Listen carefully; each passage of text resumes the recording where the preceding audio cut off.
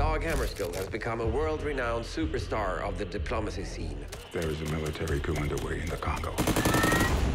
Sovereignty! The first reaction to decolonization. The UN is committed to a free, united Congo. They don't want change.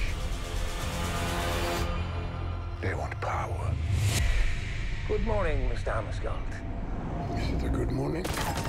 Decolonization has fractured Congo. Diplomacy will get you nowhere. The UN is here to make peace.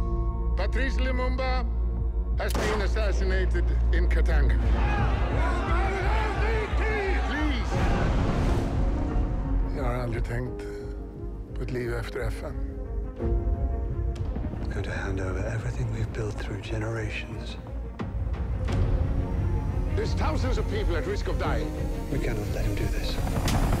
We were followed today. I have nothing to hide. Welcome, Mr. They're building an army.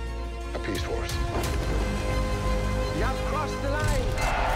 Violent clashes of interest between superpowers. Varför handlade jag som jag gjorde? You're the number one target.